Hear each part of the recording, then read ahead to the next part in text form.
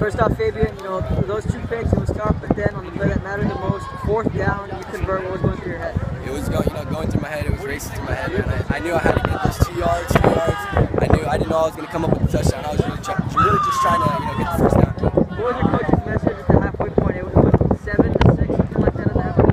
Uh, it was 14 to 6. 14 14 to 6, yeah. 14 to 6. Uh, we just, uh, we just, you know, we knew we knew we had to come out with the with the game plan that we weren't going to lose, and you know, show that tonight, and we listened to coach, and we knew this wasn't going to be our last one. How, how special is this for you a? This is special, man. I mean, I've been playing with these guys, Elijah, Michael, Johnny. I've been playing with them stuff, little kid, man.